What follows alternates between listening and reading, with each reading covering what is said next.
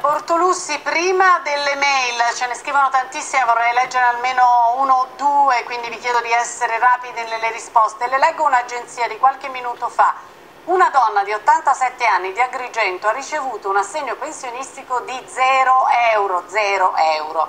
La pensione mensile dell'anziana è normalmente di 572 euro, di poco superiore al minimo, ma nell'ultimo cedolino sono stati decurtati dalla somma 138,50 euro come rata IRPEF 2012 e 322,94 come acconto IRPEF 2013, quindi saldo zero. Questo mese niente pensione.